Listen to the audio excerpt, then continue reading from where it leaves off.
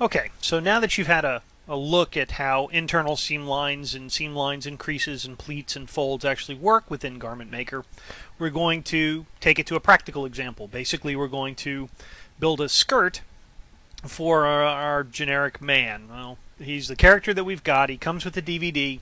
He's he's rigged with biped and skin, so he's ready to animate. You can use him as kind of a test form for whatever creation. Unfortunately, this time it's going to be a dress or a skirt that he's going to be wearing. So, at the moment, we don't need him, so I'm going to go ahead and hide him. I'm going to go to our top viewport for our skirt itself, and I'm going to add some internal seam lines along here that I'm going to use to create the pleats. So what I'm going to do is go into vertex subobject mode and I am going to start to refine out my pattern. So I'm going to just start placing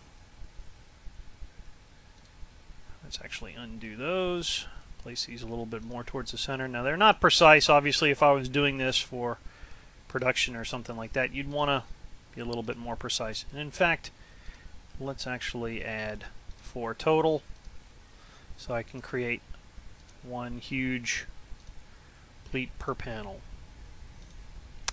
Alright, and now I'm going to create a line and I'm going to turn on snaps and make sure vertex is set. I'm going to turn off midpoint. I'm going to hold down the shift key so it goes up to a certain point and then what I can do is I'll right click after each one now what I can do is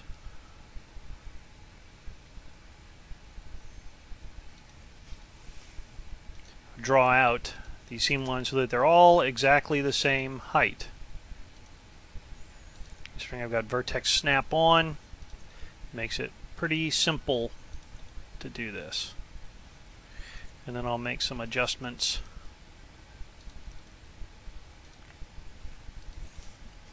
Again, as I said, this isn't precise right now, but that's okay. For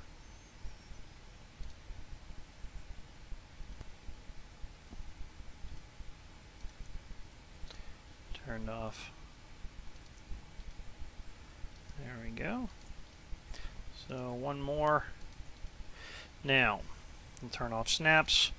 Grab these and kind of angle them, considering these panels aren't perfectly vertical what I want to do is adjust the patterns so that these outer pleat edges kind of taper inward a little bit.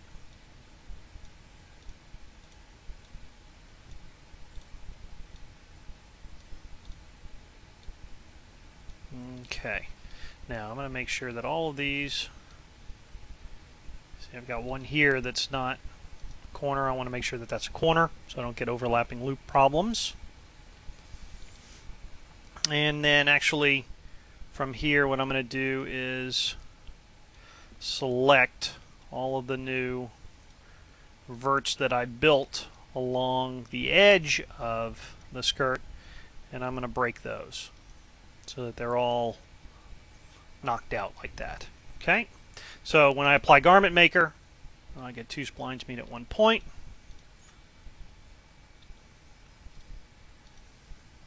It's Probably not what I wanted to have happen.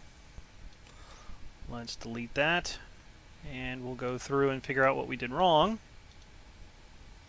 Ah, the, the what I had told you about earlier, I got a little hasty in that I've got all these internal seam lines. And I didn't even bother to tell Garment Maker or tell the spline that these are internal. So I go back down to my surface properties. Instead of one, I'll make it two, which is what I want. And now when I apply Garment Maker, I'll actually get the panels, and you'll notice I get internal seam lines like that. So I've now got, and let's actually bring this up to about one. So I get a little bit more density in here, and you'll notice that I get the regular creasing edges up to a point, and then the Delaunay mesh tends to, to move on as you might expect. Now, I need to place the panels. So what I'm going to do is unhide the generic man. I'm going to go into a user viewport. I'm going to turn off the grid so it's a little bit easier. And let's go into shaded mode. And within here, I'm going to go into panel subobject mode. I'm going to select all my panels and I'm going to rotate it. I'm going to make sure angle snap is on and then bring them up 90 degrees, which is what I want. And at this point, what I can do is I can select those two panels. Whoops, I'm not in panel subobject mode. I guess that would help. Select those. And I can turn that off just for viewport display speed. And what I'm going to do is move this forward a little bit and in the front viewport I'm going to make sure that I've got my panels in roughly the right position. And they can be a little little overlap. They don't have to be too much. And in fact, in a moment, I am going to rotate them so that they are not. In fact, let's go into shaded mode. And when I want to place them so that they are fairly close to the positions that I want them to take. Okay, so those two are done. Now I'm going to take those two and I'm going to rotate them 180 degrees. I'm going to turn it around. And again, this is just kind of, let's actually go to the back viewport. There we go. For anybody who wants to know, VK are the hotkey shortcuts to get to the back viewport. Kind of handy to, to know.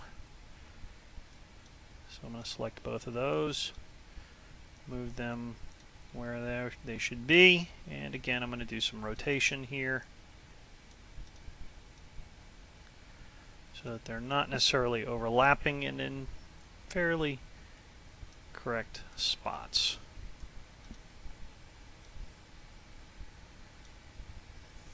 Okay, so now I've got to take this last panel, again in the front view. I can move it up. This is the basically the hemline of this entire skirt. And you can see I need to make it curved so it wraps around the body.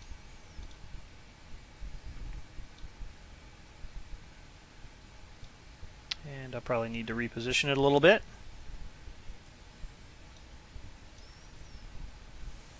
There we go. And at this point, um, I can start defining seams. Now, with a garment like this, you've got you know you're going to have to have a multi-segment. All these top edges are going to have to be pulled together via these darts, and then they're going to have to be stitched together with this top edge. And it can you can start getting seam line topology wrong if you if you do the ordering wrong. So um, pay attention here as I do this. First thing you want to do is select the the darts and sim and create seams for those and then between the panels, which makes sense. Because you have to have basically what is a contiguous piece of cloth for it to be to create a seam line. So I'm going to create the seam line here and then here and then this one and then this one. Now, the thing is, I'm going to leave this one open because it tends to coincide with the opening here on the, uh, the waistband of this skirt. So I'm going to leave it alone for right now. I'm going to get out of Garment Maker for a second. I'm going to make this guy transparent.